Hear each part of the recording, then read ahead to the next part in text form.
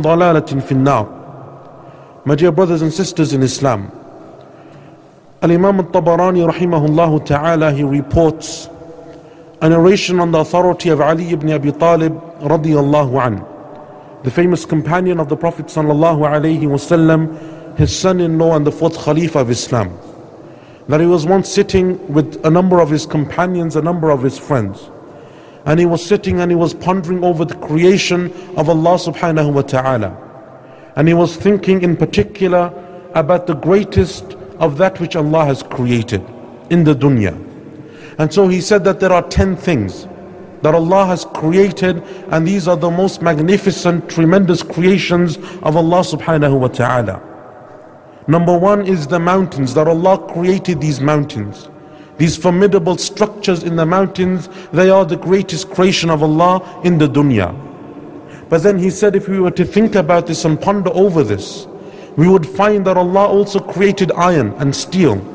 And we use this iron and steel to break down these mountains, to go into these mountains and to make them into crumble and dust. And then he thought about this and he said, but when we look at this iron and steel, then if you were to use fire, the fire would melt this iron and steel. So the fire must be stronger than the iron and the steel. And then he said, if you were to think about the fire, you would find that if you were to pour water over this fire, that the water would extinguish the fire. And thus the water must be stronger than the fire. And if you must think about this water, then no doubt water comes down from clouds. The clouds that Allah has placed between the heavens and the earth. And so the clouds where from the water and the rain descends, they must be a stronger creation of Allah. And then if you were to think about these clouds, you would find that a gust of wind, some breeze would come and it will take these clouds to wherever Allah wills. So therefore, the wind must be stronger and it must be more formidable than the clouds. But then when you look at this wind, you find that a person can easily protect himself from a gust and a breeze. When the wind comes, a person places his hand outside of his face, he puts his hands out and he protects himself from the wind that comes. So therefore a person is a stronger creation than the wind. But if you were to think about a person, a person is also a weak creation. Because only if he was to drink some type of intoxicant, he would become intoxicated. He would lose his mind. He would no longer understand what he's about to do. So therefore intoxicants must be stronger than a person. And then if you were to look at these intoxicants, you would find that if a person was to sleep, then their sleep would take away the effects of intoxicants. It would allow them to regain their mental faculties. And so therefore sleep is stronger than intoxicants. And then he said, and he came to the last and final tenth point, that if you were to look at sleep, then the thing that prevents sleep the most is the depression that a person suffers. The worries and the griefs and the sadness that a person has within themselves. It will cause a person to stay awake and not enjoy their sleep. So therefore the strongest thing that Allah has created in this dunya are the worries and griefs and sadnesses we have. When we look at this narration of Ali ibn Abi Talib radiallahu anhu, and what it says in essence is that the griefs and the sadnesses that we have, the different worries that come upon us, things that come upon us every single day, whether it's to do with our families or our children or our businesses or our wealth or our parents or the other things that go around, around us in our lives.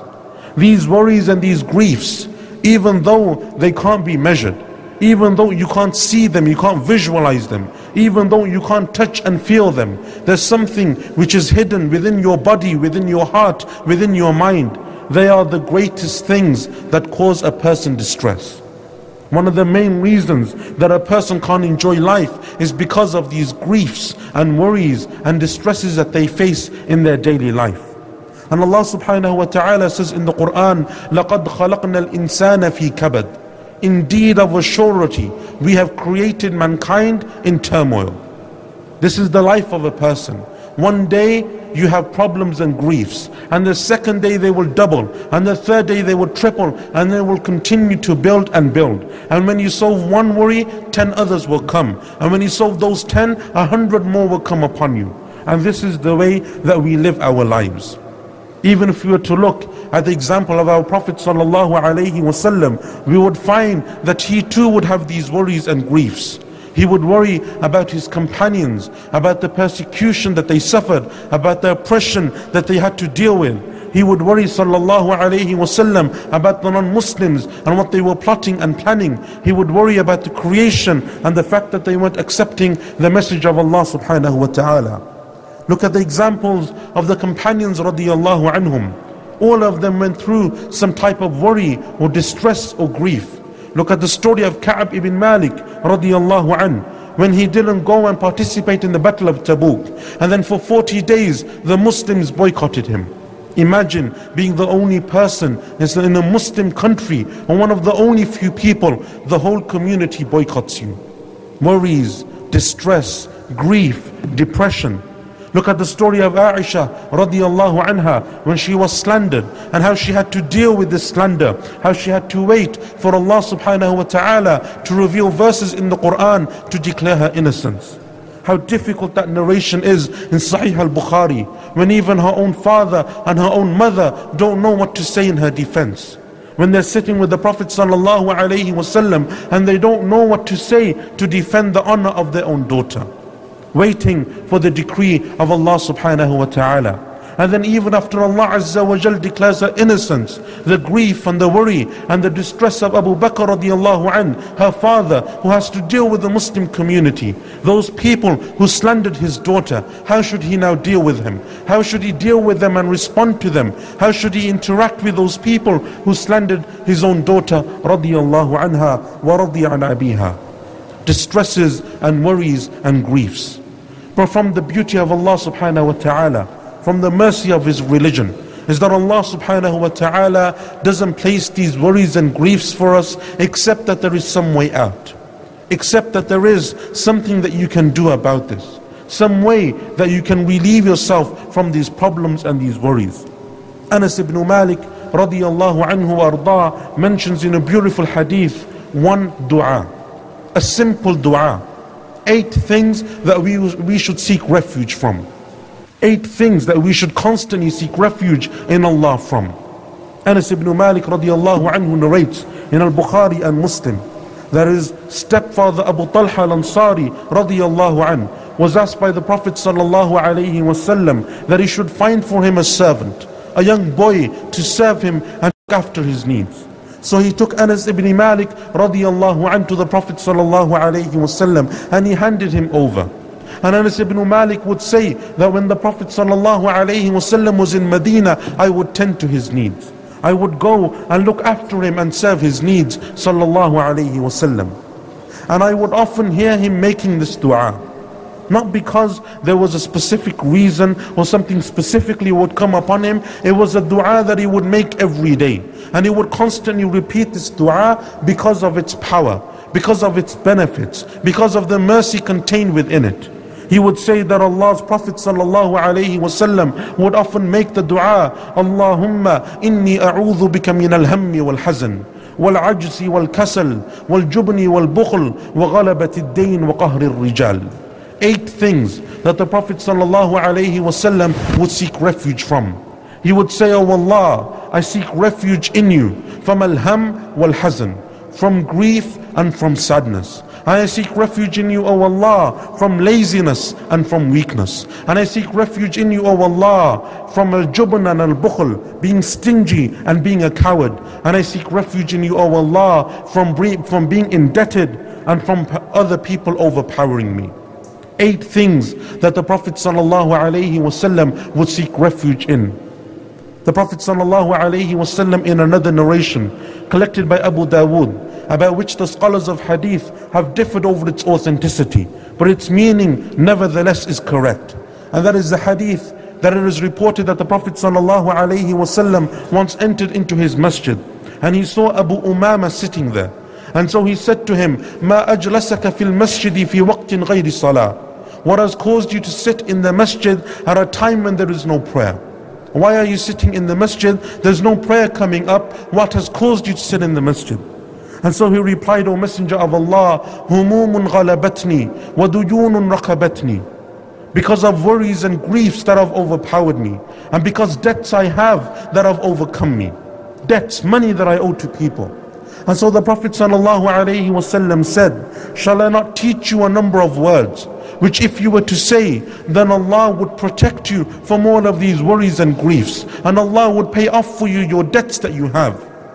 And so he said, Yes, O Messenger of Allah. So the Prophet ﷺ taught him this exact same dua to seek refuge in Allah from these exact same eight things. The great scholar of Islam, Ibn Qayyim rahimahullah ta'ala, he looks at this hadith and this beautiful dua. And he asks, why is it that the Prophet ﷺ combined between these eight things? Why is it that the Prophet ﷺ would order us to seek refuge in these eight things? He says, Rahimahullah Ta'ala, that the first thing that Allah's Prophet ﷺ ordered us to seek refuge in was al-ham, griefs and worries that you have. And these are things that you worry about in the future. Things have, that have yet not come to pass things that haven't happened to you, but they may happen to you. And so you have this grief and this worry. Perhaps it's to do with your children and their future, or the future of your marriage, or the future of your business, the future of your job, wherever it may be. These are distresses and worries that you have in the future. And so as Muslims we're ordered to seek refuge in Allah from such things because these are the things that keep us awake at night. These are the things that stop a person from enjoying their life, that stop a person from being able to worship Allah and to come closer to Him because of the worries and griefs that they have. And then he mentioned al-hazan, sadness. And Ibn Qayyim said this refers to those things that worry you from the past. Things which have already taken place with your children or your family or your job or your community or your friends or your relatives, whatever that issue may be. Things that happened in the past that now keep you awake. That now stop you from being able to come closer to Allah because all of your time is spent worrying about these issues. And then the Prophet ﷺ mentioned two other things that he also joined between. And that is that a person seeks refuge in Allah from laziness and from weakness. Weakness meaning that you're not able to do good that you can't go and do those acts of good that Allah has ordered you to do because you're weak. You don't have it in you the ability to go and to worship Allah or to come closer to Allah subhanahu wa ta'ala. And also laziness. That even if you are able to, it's just that you don't want to. You don't have that motivation and enthusiasm in you to go and to come closer to Allah subhanahu wa ta'ala. And these four things are linked. Because when a person is overcome by distress and worry and grief, then that will cause a person also to become weak and to become lazy. They can't be bothered. Nothing motivates them anymore. Nothing will give them that enthusiasm to wake up in the morning and to come closer to Allah. Everywhere they look, they just see their worries and griefs. Everything they think about, it just depresses them. And so they lose any hope in life. And we know from the Quran that Allah subhanahu wa ta'ala orders us never to despair in the mercy of Allah Never to allow ourselves to reach that extent where we don't hope for the mercy of Allah. Allah Azza wa Jal in the Quran, He says, وَلَا تَقْنَطُوا مِن رَحْمَةِ اللَّهِ do not despair from the mercy of Allah subhanahu wa ta'ala. Inna Allah yaghfiru dhunuba jami'a. For indeed Allah will forgive all of your sins. Innahu huwa al rahim. He is of forgiving, most merciful. The Prophet sallallahu alayhi wasallam then ordered us to seek refuge in being stingy and also from being cowardly being cowardly in the sense that you're not able to go and to do those things that require courage and bravery so that you come closer to Allah. And this doesn't just refer to fighting or to going and performing jihad, it could be anything. The fact that you're too cowardly to go and to do da'wah for the sake of Allah, to call this person to do good, to order the good or forbid the evil. You see something that's wrong, but you don't have the courage to go and to stop it. This is the cowardliness, the cowardice that the Prophet ﷺ ordered us to seek refuge in. And that also you're miserly. Not only that don't you have the physical ability and courage to go and to do good, but you're miserly and you're stingy. You don't even spend your wealth. This money that Allah has blessed you with, you won't even come closer to Allah with the money that Allah has given you. And the final two things that the Prophet ﷺ ordered us to seek refuge in is debt. That you become overpowered by debt and that you become overpowered by what other people do towards you. Debt, the money that you take from others and you're unable to repay back. And we know from the Prophet ﷺ that one of the reasons that a person within their grave is withheld from the mercy and the reward of Allah subhanahu wa ta'ala is because of the debts that they have incurred. Debts that they have incurred. And the Prophet ﷺ wouldn't pray the janazah of a person. He wouldn't pray their janazah if they had a debt. And he said, Sallallahu Alaihi Wasallam, that even the martyr is withheld from the mercy of Allah in his grave until his debts are paid off. And so, debts, the rights that others have upon you, the money that you took by choice, and then now you don't pay it back, or you're unable to pay it back. These are also issues that cause you to worry and to, that cause you to have distress and grief. And then other people overpowering you, other people oppressing you, transgressing against you, other people doing injustice against you, perhaps for no reason, perhaps just simply because they want to, for no good reason, and so they oppress you, and so this keeps you awake at night as well. And so all of these issues that the Prophet ﷺ ordered us to seek refuge in Allah from, all of them lead back and they increase your worries and your distress. The Prophet ﷺ said that a Muslim or a believer does not have any difficulty come upon him, nor does he become ill, nor does he become sad, nor does he have worries or griefs, and that he is patient upon all of this, except that Allah will expiate for him his sins in return. and so from the aqidah of a Muslim, from the iman of a believer, is that when these issues come upon us, these worries, these distresses, these griefs, all of these issues that come upon us, it is a test from Allah subhanahu wa ta'ala. Does Allah Azza wa Jal need your distress and your grief? Does Allah subhanahu wa ta'ala need you to be in debt? Does He need you to be miserly or stingy? But Allah Azza wa Jal wants to test your iman. What will you do at this situation? Will you come closer to Allah? Will you make dua to Allah? Will you return, return and repent to Allah? Will you have patience upon this issue? Or will this drive you further and further away from Allah? Will you think that there is no hope? Will you despair in the mercy of Allah subhanahu wa ta'ala? And that's why the Prophet sallallahu alayhi wasallam would say that no one comes upon difficulty except that he makes the dua of the noon that he made in the belly of the well and that Allah will replace for him his difficulty and will make it into ease. What is the dua of the noon? That Allah Azza wa Jal mentions in the Quran. The dua of Yunus alayhi salam when he was stuck in the belly of the well. And he said, La ilaha illa ant, subhanak inni kuntu min al-zalimin. There is no God worthy of worship except you, O Allah. Glory be to you. Indeed, I am from those who have committed oppression. So a person returns to Allah.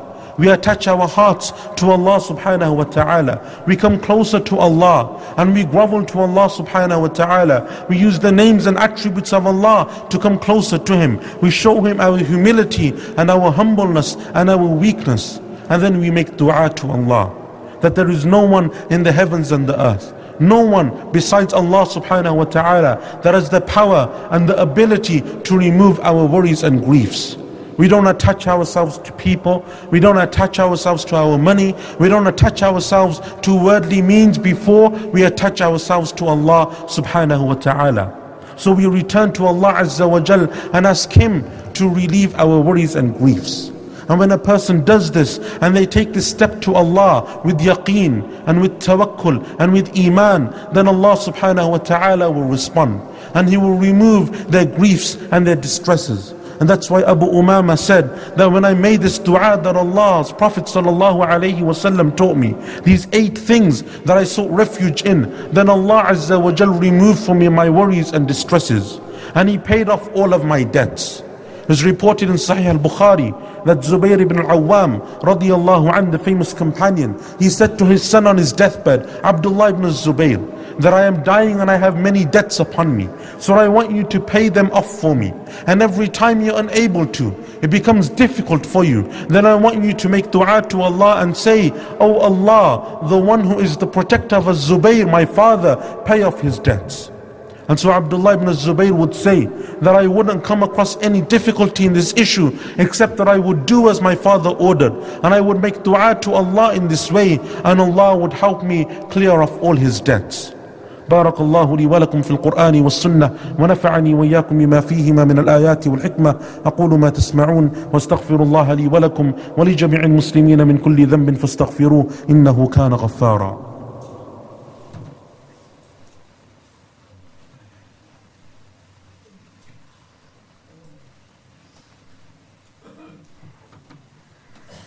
الحمد لله على إحسانه والشكر له على توفيقه وامتنانه. وأشهد أن لا إله إلا الله وحده لا شريك له تعظيما لشأنه. وأشهد أن نبينا وسيدنا محمدا عبده ورسوله الداعي إلى رضوانه صلى الله وسلم وبارك عليه وعلى آله وصحبه وإخوانه وسلم تسليما كثيرا أما بعد. The Prophet of Allah صلى الله عليه وسلم also taught us another dua. And these two du'as are du'as that we should be reciting every single day, in the morning and in the evening, and every time we have any issues and distresses and worries. These two du'as not only we should we memorize, but we should understand them and we should be teaching them to our families and our children. In this other dua, Allah wasallam ordered us to see, to say, He taught us these words. Allahumma inni abduk, ibnu abadik, ibnu amatik, ناصيتي بيدك ماض في حكمك عدل في قضاؤك أسألك بكل اسم هو لك سميت به نفسك أو أنزلته في كتابك أو علمته أحدا من خلقك أو استأثرت به في غيب في علم الغيب عندك أن تجعل القرآن العظيم ربيع قلبي ونور صدري وجلاء حزني وذهاب همي The Prophet sallallahu alayhi wasallam said, Oh Allah, I am your servant. The son of your male servant, the son of your female servant. My forehead is within your grasp. Your decree is over your decree overcomes me and your rule is just concerning me. I ask you with every single name that you have, that you have given to yourself, or that you have revealed in your book, or that you have taught to one of your creation, or that you have kept with you in the knowledge of the unseen that you make the Quran the spring of my heart, and you make it the light of my chest, and you make it the banisher of my worries and my distresses, and you make it the conquerors of any grief that I have. This beautiful, concise hadith, a number of words, is so powerful that the Prophet ﷺ said, No one will make this dua except that Allah will relieve for him any worry or distress that he has. When a person returns to Allah, and they have that iman and that certainty and that trust in Allah and that hope from Allah subhanahu wa ta'ala that no one is left in the dunya that can help me besides you, O Allah. There is no one. No one can help me. There is only Allah. Especially in those issues when you know that there is no one that will stand by you. There is no one for you. Not your family, not your parents, not your children, not your friends, not your relatives. No one can come to your aid except Allah subhanahu wa ta'ala and then you make this dua with that sincerity and that yaqeen and that tawakkul, then Allah Azza wa Jal will respond to your dua. And He will relieve for you your distresses and your worries. And look at what a beautiful dua it is. That you start off showing your submission to Allah, your humility to Allah, your humbleness to Allah. Oh Allah, I am your servant, the son of your male servant, the son of your female servant. You show your submission to Allah subhanahu wa ta'ala. And then you speak about the decree of Allah, that it is Allah that decrees everything that happens to us, good or bad, from that which benefits us and that which harms us. No one can decree except Allah. And what Allah decrees will come to pass. And the decree of Allah is just in every way. So you submit yourself to the decree of Allah. And then you call upon Allah using His most beautiful names. The names that He has called Himself with. The names that are revealed in the Quran. The names that He taught to the Prophet Wasallam. And even those names that no one knows except Allah. Those names that are in the knowledge of the unseen. Only Allah subhanahu wa ta'ala knows them. You invoke upon Allah using all of these means. And then you ask Allah Azza wa Jal to allow His speech which is from His attributes, to be the reason that these distresses and these worries leave you. That the Quran should be the light of your chest. It should be the spring of your heart. It should be the very reason that all of this, all of these worries and distresses leave you. And so it shows us, my dear brothers and sisters in Islam, that we should attach ourselves to the book of Allah subhanahu wa ta'ala and to the sunnah of our Prophet sallallahu alayhi wasallam. All of these du'as that we need are either mentioned in the Quran or they're mentioned by our Prophet wasallam. And the way that we use these du'as, the ways that the ways in which we make this du'a, the state that we're in when we invoke upon Allah, and the and the way that we are when we call upon Allah, all of this is also taken from the book of Allah and the sunnah of our Prophet wasallam. So I ask Allah subhanahu wa ta'ala by His most beautiful names and His most lofty attributes that He relieves from us from any distress that we have and any worries and griefs that have overcome us and that He helps us to pay off our debts and that we seek refuge in Him from miserliness and stinginess and cowardice and from laziness and weakness and that He protects us from others and the injustice and oppression of others. ثم اعلموا أن الله أمركم بأمر بدأ فيه بنفسه وثنى فيه بملائكته المسبحة بقدسه ويها بكم أيها المؤمنون من جنه وإنسه فقال قولا كريما إن الله وملائكته يصلون على النبي يا أيها الذين آمنوا صلوا عليه وسلموا تسليما اللهم صل وسلم وزد وأنعم وبارك على عبدك ورسولك محمد وارض اللهم عن الخلفاء الراشدين الأئمة المهديين أبي بكر وعمر وعثمان وعلي وعن سائر الصحابة أجمعين والتابعين ومن تبعهم بإحسان إلى يوم الدين وعنا معهم بجودك وكرمك يا أكرم الأكرمين. اللهم اغفر للمسلمين والمسلمات والمؤمنين والمؤمنات الأحياء منهم والأموات. اللهم آت نفوسنا تقواها وزكها أنت خير من زكاها. أنت وليها ومولاها. اللهم إنا نسألك الهدى والتقى والعفاف والغنى. ربنا ظلمنا أنفسنا وإن لم تغفر لنا وترحمنا لنكونن من الخاسرين. ربنا آتنا في الدنيا حسنة وفي الآخرة حسنة وقنا عذاب النار. عباد الله إن الله يأمر بالعدل والإحسان وإيتاء ذي القربى. وينهى عن الفحشاء والمنكر والبغي يعظكم لعلكم تذكرون فاذكروا الله العظيم الجليل يذكركم واشكروه على نعمه وآلائه يزدكم ولذكر الله أكبر والله يعلم ما تصنعون. استووا. استووا اعتدلوا وقيموا صفوفكم وصد الخلل. Straighten your rows الله أكبر.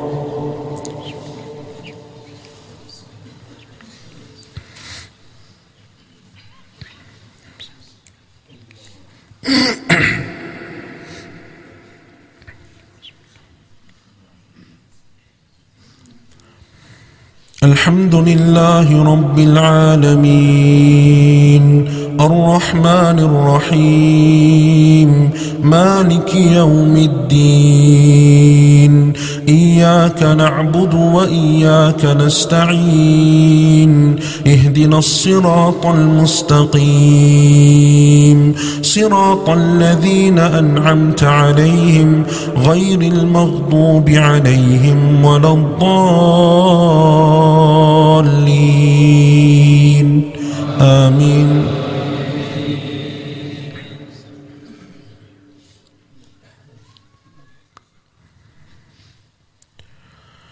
يا أيها الذين آمنوا اتقوا الله ولتنظر نفس ما قدمت لغد واتقوا الله إن الله خبير بما تعملون ولا تكونوا كالذين نسوا الله فأنساهم أنفسهم أولئك هم الفاسقون لا يستوي أصحاب النار وأصحاب الجنة. أصحاب الجنة هم الفائزون. لو أنزلنا هذا القرآن على جبل لرأيته لرأيته خاشعا متصدعا من خشية الله. وتلك الأمثال نضربها للناس لعلهم لعلهم يتفكرون. الحمد لله رب العالمين. الرحمن الرحيم. مالك يوم الدين. إياك نعبد وإياك نستعين.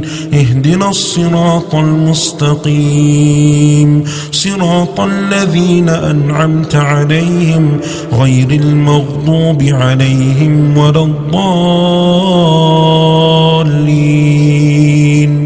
آمين.